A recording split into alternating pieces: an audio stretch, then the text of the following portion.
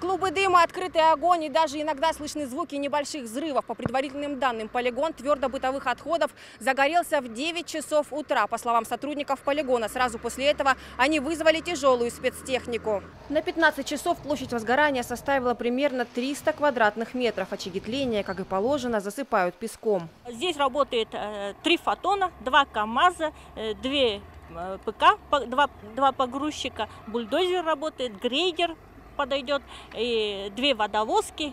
Вроде бы всех все назвала. Ну, Когда рассчитываете потушить? ну рассчитываем в 8 вечера э, ликвидировать.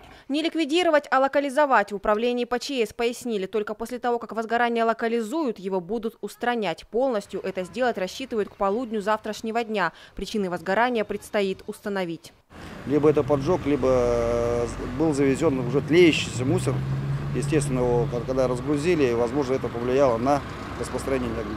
Предстоит установить и хозяина этой сумки. Тревожную находку обнаружили около торговых павильонов на мини-рынка района ПВЗ. Нам мужчина пришел, сказал, что вот уже около 40 минут сумка лежит, и мы как бы сразу позвонили в полицию. Когда сами увидели, в окно выглянули. В итоге работа торговых точек была парализована на полтора часа, а в сумке оказался кусок фольги, блок питания и старый дуршлаг. Моя произошло, совершенно 18, решение не.